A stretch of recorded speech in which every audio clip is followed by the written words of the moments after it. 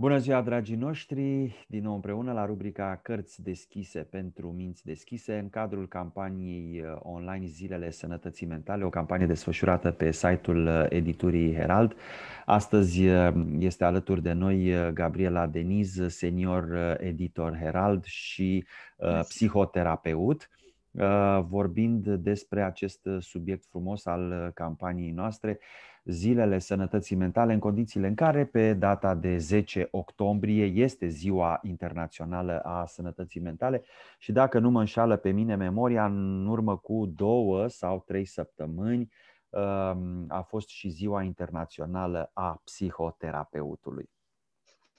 Uh, discutăm despre sănătate mentală Uh, și aș aborda discuția noastră din două unghiuri uh, sau două puncte de vedere. Este vorba despre paradigma individuală, sănătatea individuală a individului, uh, sănătatea mentală a individului, dar și sănătatea mentală colectivă, pentru că este destul de greu să îți menții o stare de echilibru și de o stare lipsită de stres în condițiile în care societatea, uh, mai ales specific, societatea românească este așa cum, uh, cum este cu, cu multe uh, hibe. Uh, am ales uh, în cadrul acestei campanii și în cadrul acestei discuții cu colega mea Gabriela Denis două titluri.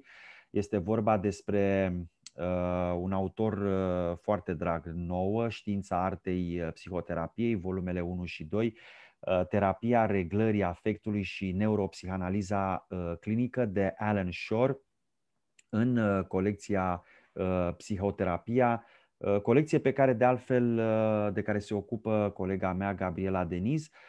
Dr. Alan Shore este poate cel mai citat autor, mai ales în ultimii 10-15 ani, în domeniul psihanalizei după Freud. Iar știința artei psihoterapiei este o lucrare deosebit de importantă și de actuală. Uh, aș spune eu că nu este o carte ușoară, uh, este o carte pentru specialiști, pentru psihologi, pentru psihoterapeuți, dar cred că putem spune că este o carte în care și cititorul pasionat de psihologie uh, poate să găsească niște informații utile și poate, cine știe, niște întrebări la, la răspunsuri. Deci cum putem defini un adult sănătos uh, din punct de vedere psihic, din punct de vedere emoțional în zilele noastre? Bună ziua! um, în primul rând, cred că aș uh, redefini un pic starea de sănătate și aș spune că noi suntem obișnuiți să vedem lucrurile ca fiind stări, în sensul că uh, este o stare în care ne aflăm și cu cât ea se perpetuează, cu atât ne simțim mai bine. În schimb, uh, sănătatea și orice proces care se întâmplă în, uh, în noi este un, un proces, este un ceva fluid, iar sănătatea mentală este reprezentată de capacitatea noastră de a ne adapta la schimbări ca și sănătatea fizică, capacitatea noastră de a păstra uh, echilibrul în condițiile de funcționare, fiindcă nu putem să ne oprim într-un anumit punct și să spunem gata, suntem sănătoși. Și dacă acum suntem sănătoși, rămânem într-o stare de sănătate. Uh, starea noastră de sănătate mentală depinde foarte mult de uh, flexibilitatea noastră, de capacitatea noastră de a prelua uh, stresul din interiorul și din exteriorul organismului și de a ne adapta în condițiile cele mai bune pentru noi, păstrându-ne starea de bine. Pentru că atunci când ne referim la starea mentală, uh, avem uh, o evaluare mai degrabă subiectivă și putem să spunem că ne aflăm într-o stare de sănătate mentală atunci când avem o stare de bine, când uh, beneficiem de vitalitate, de energie, capacitatea de a ne menține atenția concentrată, capacitatea de a ne relaxa de a fi prezenți în context, de a fi prezenți în relațiile cu ceilalți uh, și, bineînțeles, există și o, valua, o evaluare obiectivă atunci când, într-adevăr, această uh, dereglare a sistemelor noastre uh, mentale și a sistemului nostru nervos uh, devine vizibilă în exterior și vorbim acolo, într-adevăr, de boală psihică. Și uh, în acea situație putem vorbi de o evaluare externă, unde putem pune un diagnostic, putem spune că uh, un specialist se poate pronunța uh, vis-a-vis de starea noastră mentală. Dar sănătatea noastră uh, mentală este mai degrabă uh, acea calitate de a ne simți bine cu noi înșine și în relație cu ceilalți. Da, în timp ce te ascultam... Un adult chiar... sănătos, noi, uh, noi toți avem, avem dacă, dacă este să ne lansăm un pic în, uh, în această discuție, noi toți avem uh, în noi o parte care este un adult sănătos, mental, un adult, un adult care poate funcționa, uh, pe lângă alte părți ale noastre care uh, sunt mai mult sau mai puțin adaptate la ce ni se întâmplă și la, ce, la, la contextul nostru de viață. Uh, conflictul dintre, dintre stările noastre interne, dintre uh, atitudinile noastre interne, dintre stările, noastre, stările sinelui nostru, așa cum, uh, cum vorbe, despre care vorbește Alan Shore, dacă tot uh, vorbim acum despre cărțile lui, conflictul între stările noastre uh, psihice, stările noastre interioare, este ce, uh, cel care ne creează disconfort, uh, este cel care ne ne aduce această stare de îndoială față de noi înșine, față de capacitățile noastre, față de uh, puterea noastră de a face față și, de asemenea, uh, conflictul acesta intrapsihic este de cele mai multe responsabil de depresie, de anxietate uh, și de alte uh, stări negative pe care le trecem în, uh, în decursul vieții.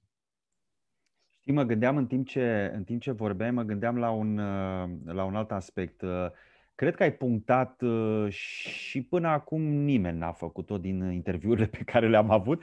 Ai punctat un lucru senzațional care mă duce, uh, mă duce în zona, uh, puțin în zona filozofiei, apropo de conceptul abstract de fericire.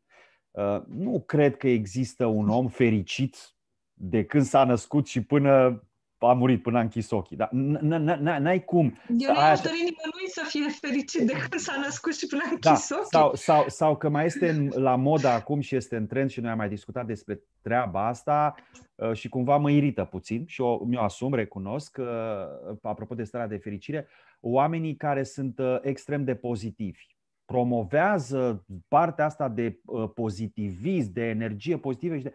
Bun, ca deziderat, mi se pare extraordinar. Este foarte normal să fim înconjurați de oameni pozitivi, de oameni luminoși, de oameni echilibrați din punct de vedere emoțional, energetic și așa mai departe. Dar, pe de altă parte, uh, trebuie să ne gândim că aici apar și niște factori socioculturali, exact ce spuneam noi la începutul uh, uh, intervenției noastre. Uh, într-o societate disfuncțională, într-o societate în care în jurul tău există foarte, foarte mult stres, există foarte multă reactivitate, uh, există foarte mulți nervi, există foarte multe emoții care la un moment dat sunt precum, mai spuneam eu odată, uh, oala cu presiune, da? o toleranță scăzută la frustrarea oamenilor care reacționează.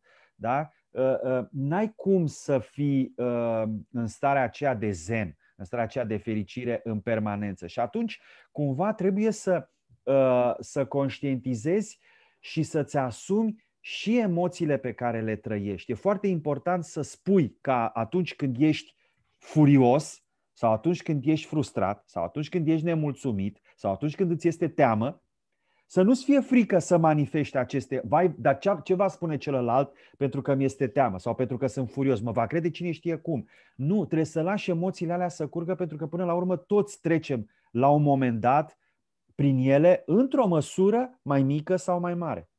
Dar dacă tot apelăm la filozofiile, uh, la filozofie și la filozofiile orientale pentru a înțelege lucrurile acestea, atunci haideți să spunem că emoțiile nu sunt ceea ce creează alții în noi ci emoțiile sunt răspunsurile noastre la ceea ce ni se întâmplă.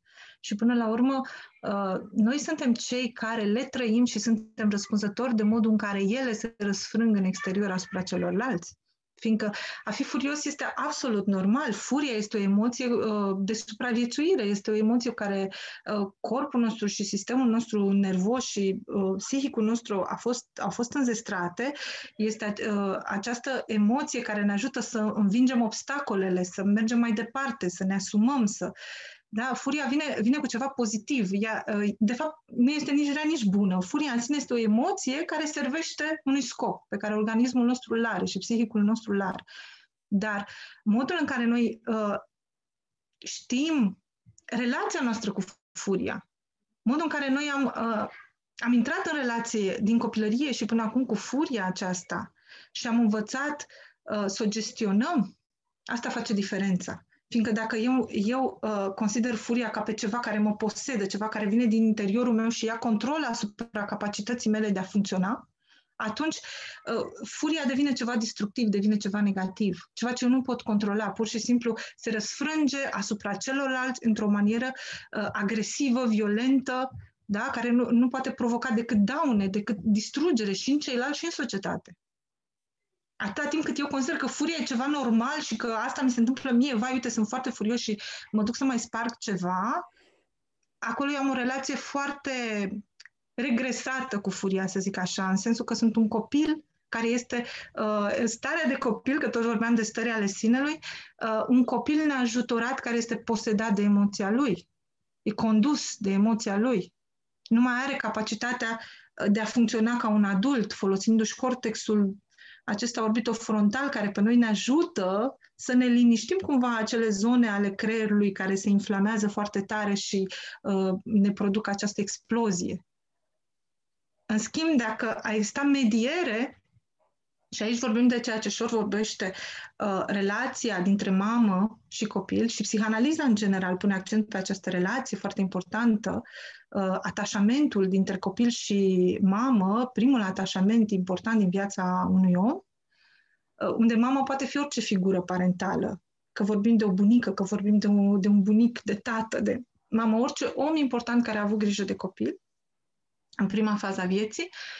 Uh, deci, această figură este o figură de mediere care preia emoția copilului și o traduce copilului. Ok, ești furios, da?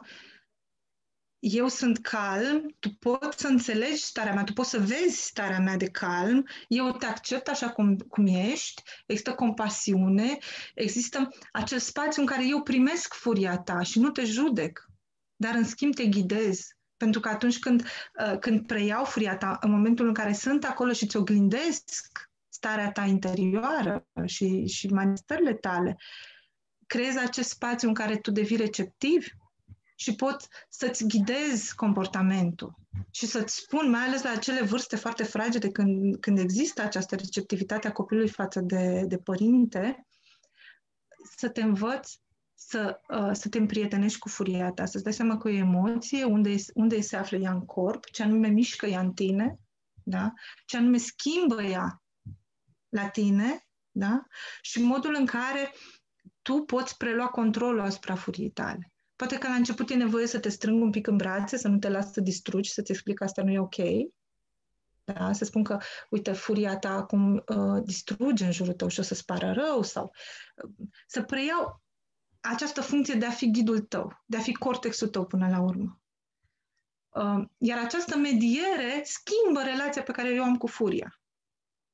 În lipsa acestei medieri, eu pot rămâne în această, în această stare de copil neajutorat care, uh, tocmai din cauza fricii și din cauza stării lui de, uh, de excitație foarte mare, răbuvnește și distruge și simte că poate să, mite, să mute munții din loc, deși el are o putere limitată și toți avem o putere limitată.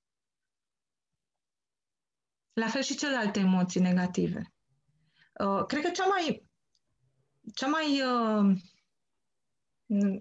vitregită este emoția de tristețe. Cred că asta este emoția cea mai vitregită, pentru că atunci când ne doare și când suntem foarte triști, cei mai mulți încearcă să ne scoată din starea asta.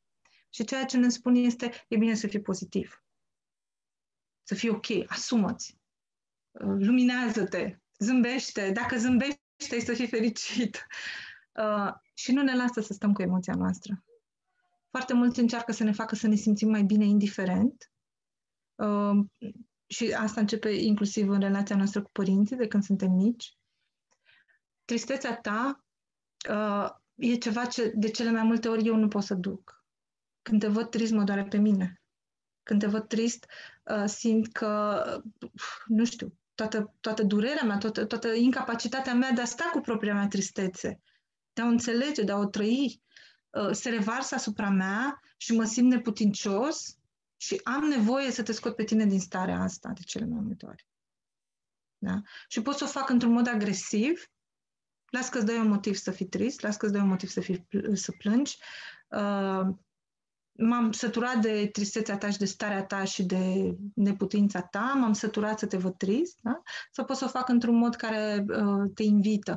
Hai, nu mai fi trist, hai, vină să te joci cu mine, hai, lasă, uită de chestiile astea că nu sunt importante, hai, nu te mai gândi, hai, ce vrei să-ți dau? Vrei ceva dulce? vrei o ciocolată? Mm? Pentru că dacă îți dau o ciocolată, cu siguranță se uiți că ești trist și mai ales că ciocolata acționează și aici ne, ne dă o stare de bine, serotonină, ne simțim cu toții bine, toată lumea e fericită. Da? Și uh, de ce spuneam că este o emoție vitregită? Pentru că atunci când nu ne putem uh, trăi tristețea, învățăm că nu suntem, uh, nu suntem ok când suntem triști, când suntem supărați. Învățăm că uh, ceilalți nu vor să ne vadă așa și ne ferim ajungem să ne ferim de ei și să ne trăim durerea și tristețea în spatele unui paravan. Da? În singurătate, nu cerem ajutor, nu vorbim despre asta, nu vorbim despre durerile noastre, ne simțim slabi, ne simțim uh, neacceptați așa cum suntem. Un, o parte din spirala aceea descendentă a depresiei. Faptul că nu ne împărtășim emoțiile, că nu vorbim cu ceilalți despre ele, ne ascundem, ne e rușine Iar întotdeauna tristețea vine cu o scădere a nivelului de energie, pentru că uh, tristețea ne, ne afundă așa într-o stare de, în care uh, corpul nostru are nevoie de acest repaus, să stăm cu noi înșine și cu durerea noastră, doar că noi, fiind uh, separați de emoția noastră, fiind-ne rușine cumva de emoția noastră, uh, ajungem să la o distanță între ceea ce trăim și ceea ce trăiește corpul nostru și cumva uh, întoarcem această neînțelegere împotriva nou, noastră înșine, împotriva nouă înșine și uh, ne simțim furioși pe noi înșine că nu facem față, ne simțim neputincioși, ne judecăm pe noi înșine pentru ceea ce trăim. Intrăm în acel conflict în care o parte din noi simte că, că e tristă, că, că e îndurerată, că sunt toate aceste trăiri uh, cu care ne e greu să stăm, cu care n-am stat poate niciodată, fiindcă nu am, nu am învățat, nu ne-a fost mediată această, uh, această capacitate de a sta cu, cu durerea noastră și simțim că nu suntem ca ceilalți, că nu mergem în lume, că nu facem lucruri, că nu suntem suficient de activi, că pierdem lucruri, că nu, nu ținem ritmul cu oamenii din jurul nostru.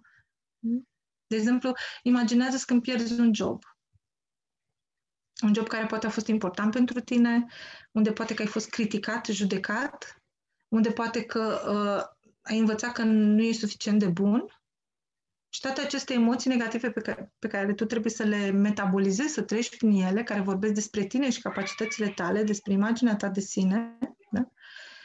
uh, se transformă în rușine, tu te închizi în tine și te uiți în exteriorul tău la oamenii care par ok, care par fericiți, care par adaptați, care își trăiesc viața, care au un ritm alert, pe când corpul tău în momentul ăsta se închide, intră într-o, într-o stare de hipoexcitație și uh, nevoia este de a sta și de a digera lucrurile astea, de a înțelege ce ți se întâmplă, de a te repoziționa în viață, poate de, de a-ți recadra modul în care ai văzut până acum viața ta.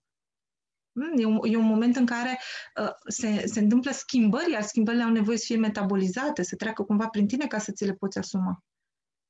Dar ceea ce vezi tu este că ești îndurerat, că ești trist, nu poți sta cu această stare și vezi pe ceilalți care sunt ok și sunt mereu activi. Și comparându-te cu ceilalți, simți că tu nu ești ok. Da? Tu nu poți să faci, tu nu poți să faci față. Hmm? Apar absolut gânduri negre, chiar și gânduri de suicid. N-am să ies niciodată din groapa asta. Și asta, asta este unul din, din, uh, cred eu, din uh, motoarele depresiei, pentru că uh, ne, ne aduce în această stare în care avem nevoie să stăm cu noi înșine, dar nu ne putem accepta pe noi înșine. Și ne e rușine să împărtășim aceste emoții cu ceilalți, pentru că atunci vor vedea și ei cât ne este de rău și cât de defect suntem. Ce probleme avem, cum, cum nu putem fi acceptați de fapt. Noi am eșuat, e eșecul nostru. Această lipsă de acceptare a durerii devine de fapt un, un agent al depresiei. Exact cum și al, al stării noastre de a nu fi bine cu noi înșine. Exact și, și cred că toate au legătură și foarte bine ai punctat cu faptul că, mai ales dacă în copilărie am fost etichetați și am fost comparați și am fost uh, judecați de părinți, uh, perpetuăm aceleași, din păcate, tipare relaționale comportamentale și ne gândim la faptul că uh, ai dat foarte bine exemplu cu uh, serviciu, cu jobul, Uh, dacă am fost apostrofat sau am fost insultat sau am fost jignit sau criticat de superiorul meu la serviciu, mă gândesc că același lucru s-a petrecut în copilăria mea când părinții spuneau că n-ai făcut bine lucrul respectiv, că nu l-ai făcut până la capăt, că uite celălalt poate mai mult și nu ești uh, suficient de bun, nu ești suficient de dezirabil pentru a fi în relații armonioase cu uh, cei din jur. Dragii noștri, a fost alături de noi Gabriela Deniz, uh, psihoterapeut. Aș vrea să spun totuși și două cuvinte despre carte. Da, sigur. Pentru că în uh, știința artei psihoterapie aflăm despre toate lucrurile acestea, dar lucrurile pe care le aflăm acolo sunt despre cum funcționează, de fapt, relațiile noastre primare, uh, rolul pe care ele le au și ce e, de fapt, important în relațiile primare Uh, și uh, în uh, relațiile corective de mai târziu, cum sunt cea de psihoterapie, în care clientul și terapeutul se află în această, în, în această relație care se dorește aduce la o schimbare profundă. Și relația de psihoterapie folosește aceleași resorturi pe care le-a folosit uh, relația de atașament, structura, sistemul de atașament pentru a crea relația primară dintre mamă și copil. Pentru că acolo uh, se întâmplă modificările uh, profunde vis-a-vis de cine suntem noi. În relația primară dintre mamă și copil apare oglindirea, iar în uh, cabinetul terapeutului uh, trebuie să cumva să să corectăm aceste oglinzi deformatoare care au apărut în decursul uh, copilăriei, nu numai în relație cu mama, ci în foarte multe relații pe care le-am dezvoltat în viața noastră, folosindu-ne, folosindu-ne de aceste resorturi ale a, a sistemului de atașament care se pune în funcțiune încă de la naștere,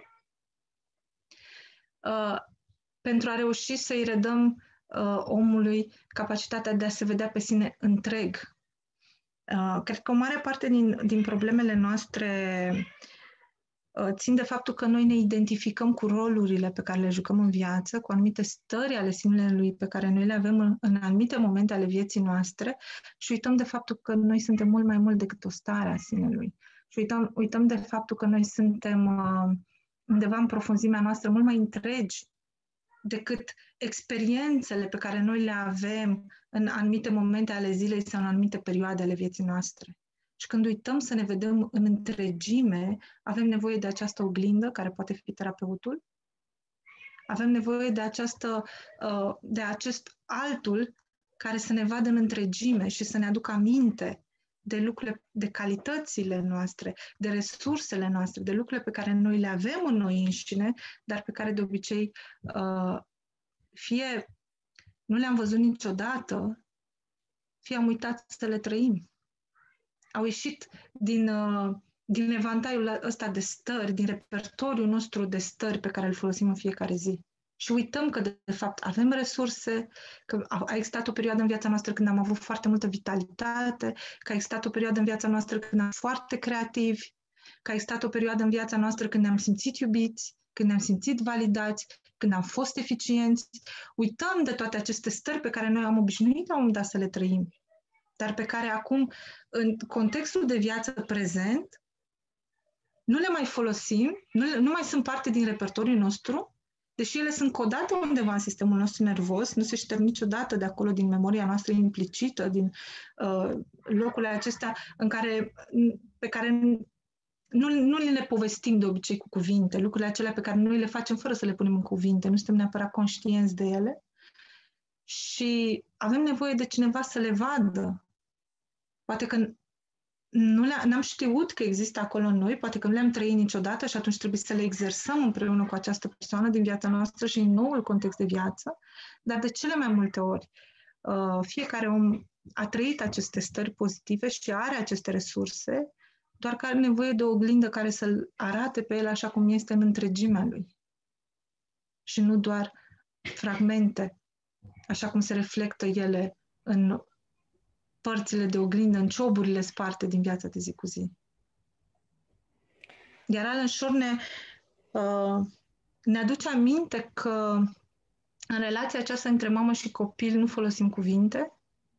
Cel mai important este în, în, în relația primară, de dinainte să intre în funcțiune uh, sistemul limbajului, capacitatea noastră de gândire coerentă, de, uh, de uh, să intre în funcțiune, până la urmă, funcțiile emisferei stângi, care se dezvoltă, un, începe să se, să se dezvolte uh, mult mai complet uh, începând cu al doilea an de viață și nu în primii doi ani de viață, în perioada intrauterină și în primii doi ani de viață, există o creștere uh, foarte puternică, foarte rapidă a emisferei drepte, unde limbajul este unul simbolic, este un limbaj al emoțiilor, un limbaj al imaginilor, un limbaj al metaforei și al simbolului.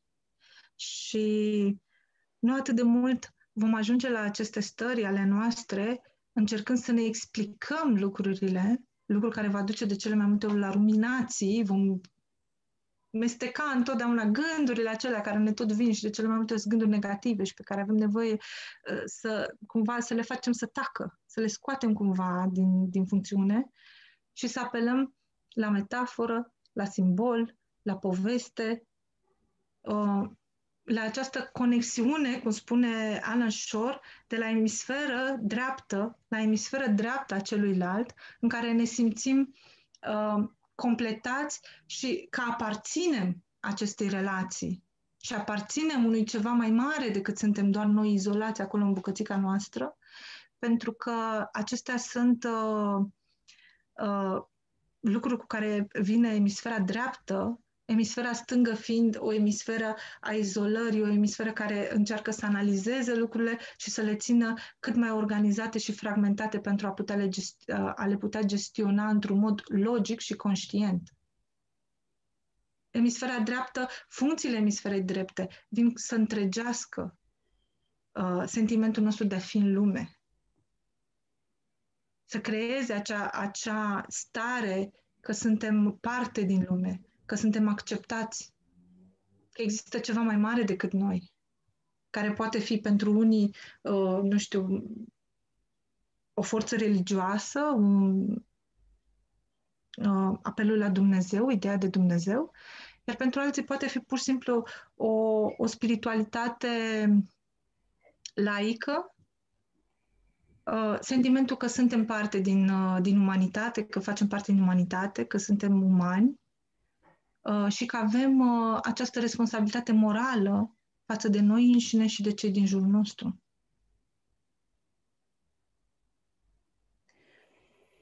Relația importantă pe care noi, relațiile importante pe care noi reușim să le dezvoltăm în viața noastră sunt relații în care uh, funcționează comunicarea de la emisferă dreaptă la emisferă dreaptă.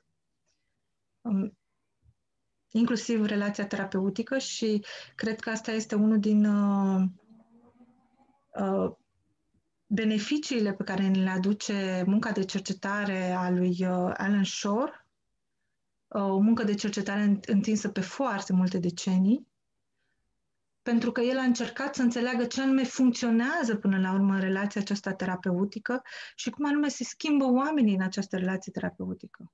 Și a ajuns el să spună că nu, nu interpretările psihanalitice, nu interpretările verbale, nu înțelegerea lucrurilor este cea care duce de fapt la schimbare, ci această uh, oglindire a terapeutului și această capacitate a terapeutului de a prelua ceea ce este clientul și de a sta cu el hm, și de a-l învăța pe client să, să aibă o nouă stare de a fi împreună, ca într-o relație primară în care uh, mama îl învață pe copil să fie.